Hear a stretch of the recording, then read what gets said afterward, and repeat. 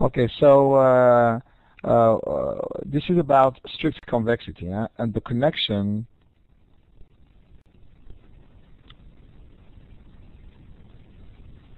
with uniform convexity. Okay, clearly, uh, as I claimed last time, uniform convexity implies strict convexity. But let, us go back to the definition. Okay, so we say that X Banach is strictly convex. If and only if there exists uh, for any for any x and y vectors such that the norm of x plus y equals the norm of x plus norm of y, then they are proportional for alpha positive. Because if they are uh, proportionally, if they are uh, parallel x equal alpha y, then this, this, inequality is obvious, with alpha positive, of course, in the same direction as vectors. Okay? And we have seen, uh, I have proved, first of all, we can assume that x and y are both non-equal to 0, because if one of them is equal to 0, this uh, uh, norm of x plus y here is obvious.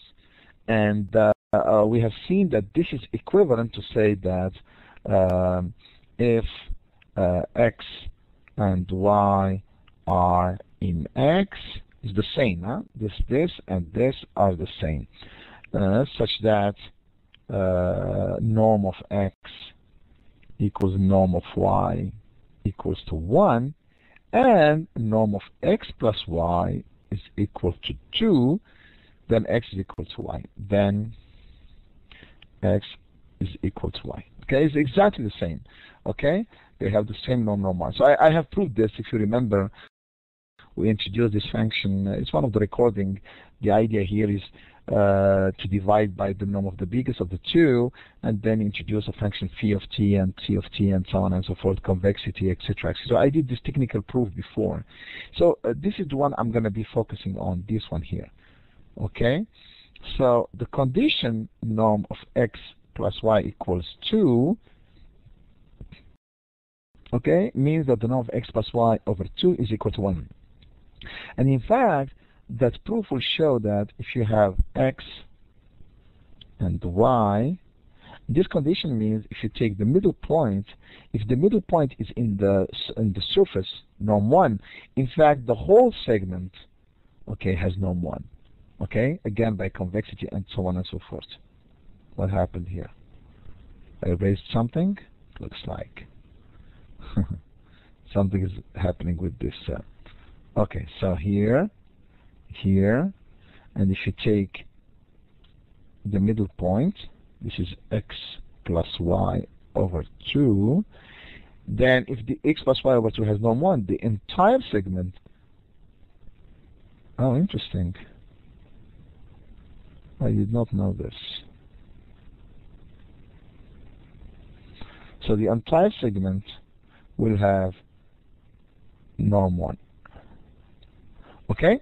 So here meaning that this will apply to the norm of alpha x plus beta y is equal to 1 whenever alpha plus beta is equal to 1, alpha positive, beta positive. So the entire segment will be on the surface.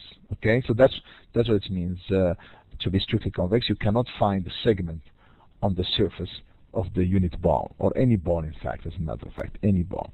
Okay, so why is it uh, equivalent to uh, uh uniform convexity? So assume, assume x is different from y. So in, in other words, assume it's not uniformly convex. No, I'm, I'm sorry. Norm of x equals to 1 equals to norm of y. Okay, so we want to show that norm of x plus y over 2 is not equal to 1.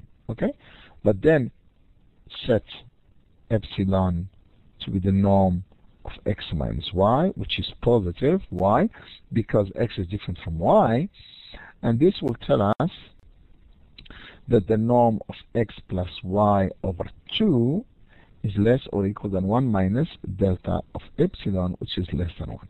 So x plus y over 2 cannot be on the surface of the unit, so X is strictly convex.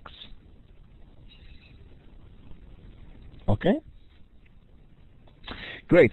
Um, yesterday I was looking at something and they, uh, the last few days and they came up with uh, a new property. Huh? So in the same remark here, uh, I called it like uniform strict convexity. Huh? Uniform strict convexity. Okay? And what it says, it says the following. So assume you have now the same property, the one I, I described above, but for sequences. Huh? So you are assuming that xn less than 1, yn, excuse me one second, and the norm of yn less than 1, and they assume that the limit of the norm of xn plus yn over 2 is equal to 1. So we know that, uh, so these are vectors in the unit ball, sequence, two sequences, such that the middle goes to 1. And what I want is uh, that we cannot have x equal y for the strict convexity. So here, then, so if you have this,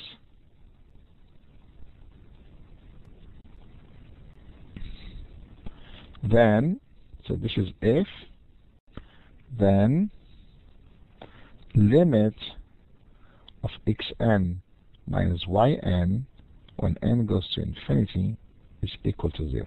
So the xn's and yn's are getting closer and closer to 0.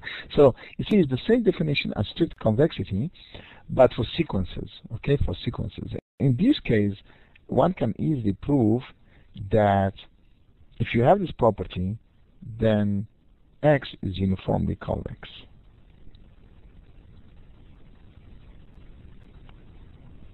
Okay?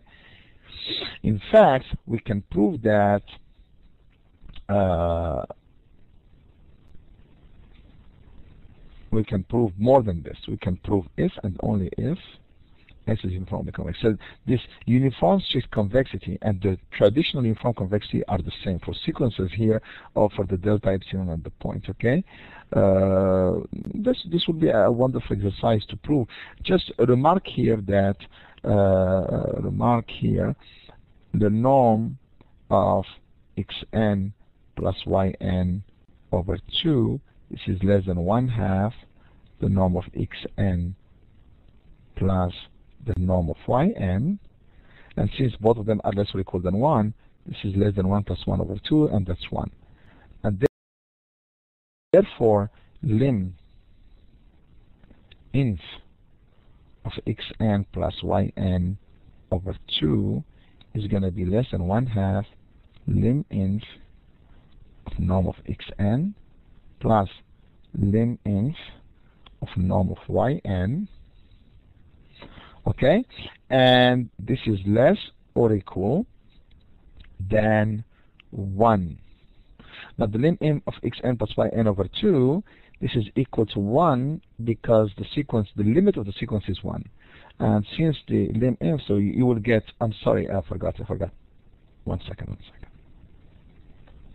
lim sup here you put 1 half lim sup of xn lim sup of yn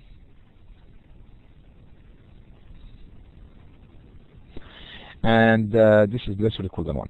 So you would show that the lim inf equal lim sup equal 1, well, therefore lim of the norm of xn equal lim of the norm of yn equal to 1. So basically, the condition that the middle point, if you are in the unit ball and the middle point goes to 1, then it forces all the, the vectors, the limit of the sequences xn and yn to go to 1. Okay? So these conditions sometimes is very powerful. Okay? It's really powerful here, these conditions. So we, I call that on the sequences uniform strict convexity. Huh? So instead of having the strict convexity for two vectors, you have it for sequences. Okay? Uh, this is very useful uh, in applications when we want to try, for example, to prove uh, that the minimizing sequence of some functionals uh, converges and so on and so forth. So, so it's good to know. Um, last time, so I want to go back to the last lecture. Okay, so the last time we proved the following. Yeah? I think that's the last part I did. That uh, theorem, if x is uniformly convex, okay, if x is uniformly convex, and Cn is a family or sequence or countable family of bounded, closed, convex, non-empty subsets of X such that Cn plus 1 is in Cn, then the intersection of the Cn's is not empty. Okay? So this is what we call the property R.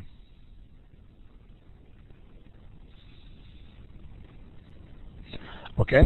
So if X is uniformly convex, then you have this intersection property, okay, for bound closed convex subsets which are decreasing. Okay? And I showed you that if you have property R, you are complete. You are a Banach space, okay? So here, of course, if X is uniformly convex and Banach, I'm sorry, I forgot here. If X is uniformly convex Banach space.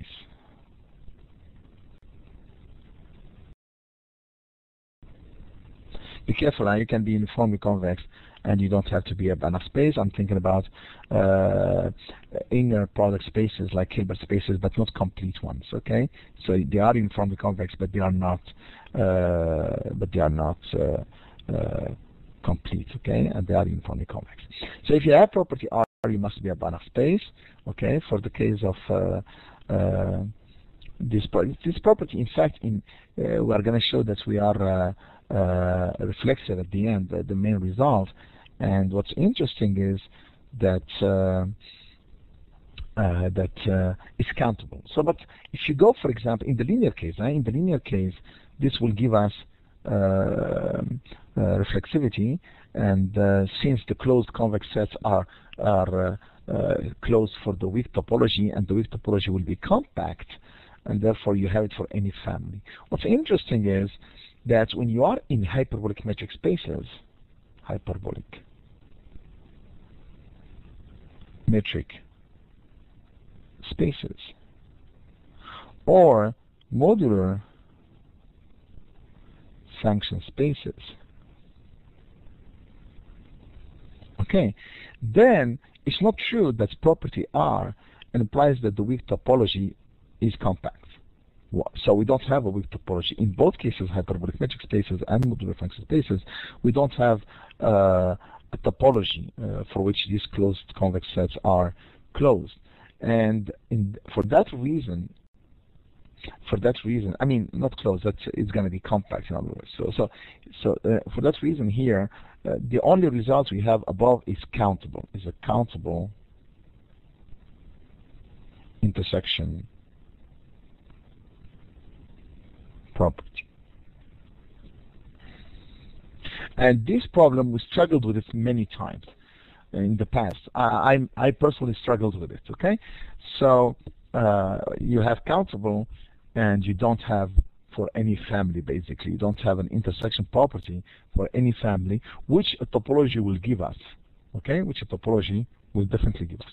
So let, let us prove now uh, a, a theorem, a beautiful theorem, theorem. I mean, I, I don't need it in this setting, uh, as I said, because I can go through the weak topology. But I want to give it to you because the proof is quite, can be adapted to the case of hyperbolic metric spaces and modular function spaces.